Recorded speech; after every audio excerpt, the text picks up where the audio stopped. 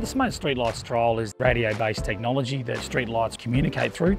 These smart communicators will uh, notify Western Power when there's actually outages on lights.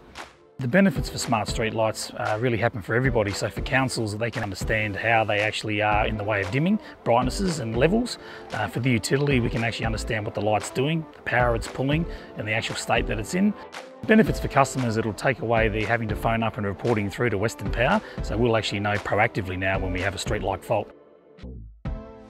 Melville was actually picked for the State Underground Power Program. We decided that uh, while works were being performed, we'll take on to the back of that and perform the Smart Street Light trial. If this trial proved successful in the city of Melville, then uh, we could actually look at rolling this a little bit further. But they are currently uh, being trialled over in the eastern states with some utilities. But if this is proven successful, Western Power will be the first utility in Australia to potentially roll this system out. Diamond Underground Services are excited to be partnering with Western Power and one of the first contractors to be involved with this smart lighting. They're also excited to see where this technology leads. This is something that where technology is actually moving towards and this will also benefit our customers and councils and the utility as a whole.